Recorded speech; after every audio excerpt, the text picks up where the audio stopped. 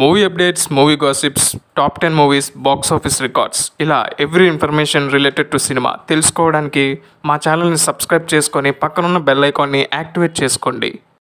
Orange లాంటి disaster movie తర్వాత release అయినటువంటి రచ్చ సినిమా యావరేజ్ టాక్తోనే కమర్షియల్ సక్సెస్ని సాధించి సూపర్ హిట్గా నిలిచింది.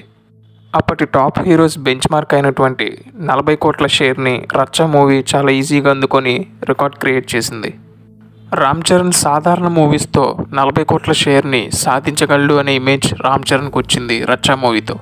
టూకే థర్టీన్లో రిలీజ్ అయినటువంటి Nayak movie above average talk తెచ్చుకొని రొటీన్ కమర్షియల్ మూవీగా పేరు తెచ్చుకుంది.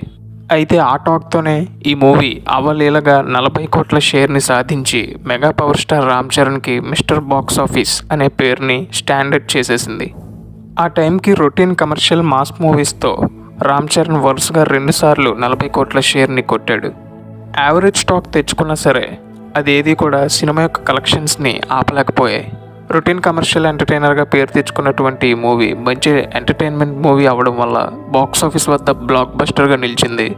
నలభై కోట్ల షేర్ని అవలీలగా సాధించింది ఆ టైంలో.